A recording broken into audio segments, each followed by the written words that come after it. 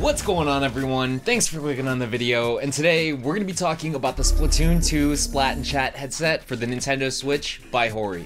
Alright, so a lot of you guys probably have seen a few pictures of this thing or heard some stuff about it circulating throughout the internet over the last month or so. This is the Splatoon 2 Splat and Chat headset for Nintendo Switch. It's Hori's solution to the current issues with the Nintendo Switch online chat system. So what does it do and how does it work, and what makes this thing so special? Well, it does two things things. First, it makes you look like an inkling while you play Splatoon 2, which is actually pretty awesome because I gotta say, these things do look pretty sweet. Second, it's supposed to allow you to chat with your friends online while listening to the game audio directly from your headphones. But that's thanks to the infamous chat mixer that's included with the headset. You guys remember this little infographic, right? Well, turns out it was actually box art. Okay, so now that we're done oogling over the gorgeous box art, which actually really is beautiful, let's crack this guy open. Hori made sure to include some pretty cool and useful little add-ons inside of the box along with the chat headset. And one little bonus that I really do like about these headphones is that they come with an extra pair of interchangeable ear tags, which I gotta say, I actually prefer the alternate color red over the default green. So if you're into those little customizable details like that, well then you're definitely to appreciate that tiny little addition. The microphone part to the headset itself is detachable, so when you first get it, you're to have to snap it on when you're ready to chat. I like that they did make it detachable because that means that if you really did want to, you could technically just get away with wearing these out in public without looking to jet grind radio. I also really like that Hori included an 8.2 foot long extension cable for people who prefer to play on the TV. It's just one of those little quality of life details that you really miss when they're not there. So I'm glad to see that they didn't forget about the many TV mode players out there as well. But the main reason most of us are here, and the biggest mystery with this whole package, is of course, the chat mixer. I mean, look at this thing, guys. It's a squid which is actually pretty fitting because all of the cables you're gonna have dangling from it make it look like it has tentacles, and that's ridiculous, because look how far we've come, I mean it's been 15 years since we've had voice chat on a console and and this is what we have. Why is this a problem all of a sudden? Why does this exist? Okay, but before we start jumping to conclusions, let's break this thing down, go over build quality, and see how it all works when you put it together. Let's start with the actual headphones themselves. First off, they look awesome. Really awesome. The detail here is pretty profound, and it looks like they just literally fell right out of the game and into the real world.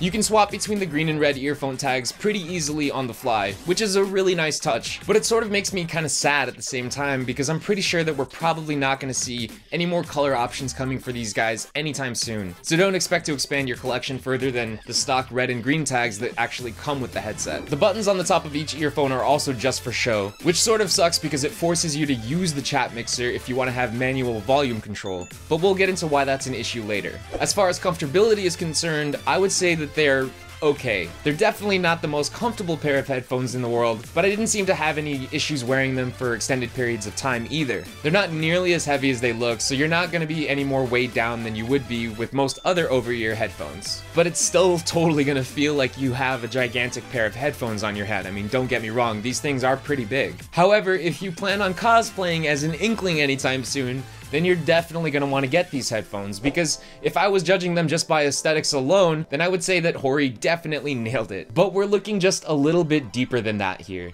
Because ultimately, the reason you're buying these is for what they can do and not just how they look. Sound quality wise, I would say that they're probably just about as good as any other $25 pair of headphones that you could buy. They're decent, but honestly, the earbuds that come with your smartphone probably sound a little bit better than these. They're not terrible, not by a long shot, but I would never use them for anything other than game chat. Alright, so now that we know how the headset works, let's find out what that little chat mixer dongle thing is all about. Right off the bat, just taking a look at the mixer, you can see that it has a bunch of little switches and knobs on it that all control different volume and chat settings. There's a dial on the top left side of the mixer that controls the BGM volume, and then there's another dial on the bottom left side of the mixer that controls the chat volume, and then finally right on the front, there's a mute switch. So some of you out there might be thinking, hey, wait a minute, now that sounds kind of like one of those fancy mix-amp things that those streamers and YouTubers use when they talk through their headsets. Well, you're totally right. It's exactly like that, or at least that's kind of what it's trying to be.